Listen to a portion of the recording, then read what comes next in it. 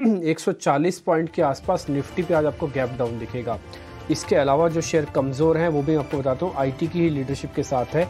इन्फोसिस सबसे ज़्यादा चार परसेंट डॉक्टर रेड्डीज एस खुलेगा। इन तीनों पे कहीं ना कहीं खबर है बज है। ये उसी के साथ ओपन होते हुए आपको दिखेंगे। खैर मार्केट की ओपनिंग हो रही है। साढ़े पाँच सौ शेयरों का इस समय एडवांसेस हुआ है और साढ़े नौ सौ शेयर डिक्लाइंस के अंदर यानी कि दोनों हज़ार से कम है।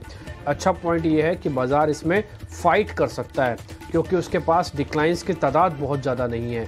दूसरी इंपॉर्टेंट बात कि मार्केट के पास सपोर्ट अभी भी बरकरार है। जैसे चवालीस हज़ार बैंक निफ्टी का बचाव। इनफैक्ट चवालीस नहीं, चवालीस तीन सौ वाला सपोर्ट भी है अभी तो। वो पूरी तरह से गया नहीं।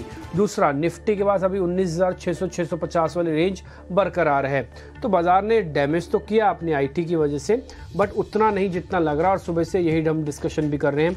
हमको रत्नेश ने भी ये बात बोली और संतोष भी यही बात बोल रहे थे। खैर आगे बढ़ते हैं। इसके अलावा कौन कौन से शेयर टूट रहे हैं? एक और बात मैं बता दूँगा, इन्फोसिस के अंदर जो पहले शुरुआती गिरावट थी, वो करीब चार परसेंट के आसपास की थी। ये घट के अब करीब पौने तीन परसेंट रह गई है। इसको नोटिस कीजिएगा। दूसरा, अभी और आईटी कंपनीज़ पे क्या प्रेशर आ रहा है?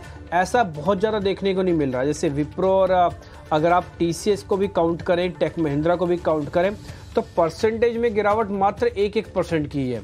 इससे ज़्यादा नहीं है। और अभी आप एडवांसेस देख पा रहे हैं एडवांस डिक्लाइन तो थोड़ा सा एक हज़ार का नंबर आपको आया टी सी एस तो बकायदा अब हरे निशान में भी आ गया। तो कल अपने नंबर्स का इम्पैक्ट कल ही ख़त्म कर दिया। सेम हो सकता है इन्फोसिस भी ऐसा ही करे, अपने नंबर का इम्पैक्ट आज या कल ही ख़त्म करें। तो आपको एक रिदम मिल सकता है वापस से। आज और शेयर कौन से कमज़ोर हैं, उसमें एक डॉक्टर रेड्डीज़ है, खबर आपको पता है, इनमें 483 इशू हुआ है। जो तेज़ी वाले स्टॉक्स हैं, उसमें आप यकीन नहीं मानेंगे टॉप 50 में से सबसे ऊपर एससीएल टेक है। सबसे ऊपर एस टेक है। और दूसरा शेयर है हीरो मोटोकॉप तीसरा है मारुति चौथा है ओएनजीसी और अब पांचवा टीसीएस भी हो गया है। तो बाज़ार ने अपनी जो रिकवरी है ना 30 40 पॉइंट्स की, वो एक झटके में कर ली और आप देख पा रहे होंगे, अब डिक्लाइन फिर से हज़ार के नीचे चले गए और एडवांसेस ऊपर आ गए हैं। तो लीडरशिप की जो प्रॉब्लम है ना, वो सच अभी दिख नहीं रही है कि ऐसा नहीं है कि बहुत तेज़ी से आईटी कंपनी ने बाज़ार को नीचे धकेल दिया हो। निफ्टी 50 भी एक बार चेक कर लेते हैं। हीट मैप भी आपकी स्क्रीन पर आएगा।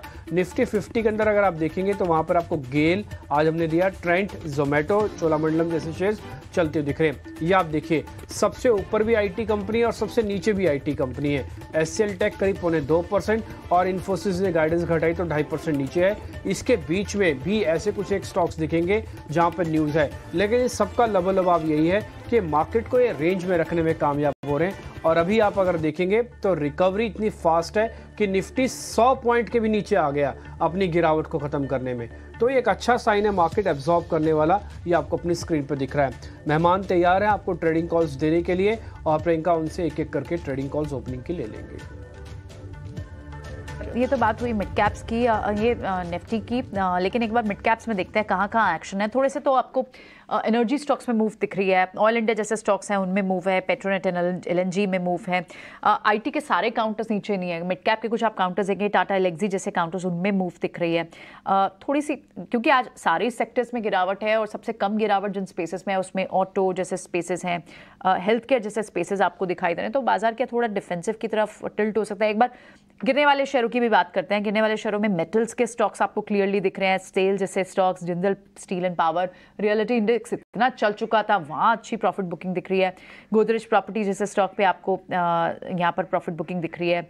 गैस के भी कुछ काउंटर्स चले हैं आईजीएल जैसे और न्यू एज स्टॉक में डिलीवरी जैसे स्टॉक्स में भी आपको थोड़ी प्रॉफिट बुकिंग दिख रही है। तो लेकिन क्या रिकवरी कोई अटेम्प्ट होगी? बाज़ार देखिए थोड़ा रिकवर हुआ है खुलने के बाद से। वो इसलिए हुआ क्योंकि आईटी उतना नहीं घटा। प्रेशर डालने इन्फोसिस का जो एडीआर है वो ओवरसीज मार्केट में सात परसेंट नीचे था। हाँ, लेकिन भाव यहाँ सात परसेंट नहीं गया। इन्फोसिस हम्म। चार परसेंट नीचे खुल के क्योंकि शॉर्ट्स थे इन द सिस्टम ये अब ये देखना होगा कि ये फ्रेश बाइंग आ रही है। हेमांग तो कह रहे थे लेना चाहिए टीसीएस हम्म। को। ठीक है। लेकिन मेरा ये व्यू है कि ये बाज़ार को बहुत शॉर्ट था बाज़ार आईटी के हम्म। ऊपर ऑलरेडी थोड़ा लास्ट हम्म। दो दिन के अंदर। तो जब शॉर्ट था वो थोड़ा सा कवर होकर शायद रुका है। रेस्ट ऑफ़ द डे में क्या होता है ये देखना होगा। टीसीएस हिमांग का पिक बाय ऑन डिप बोला था ऑलरेडी हरे निशान में आ गया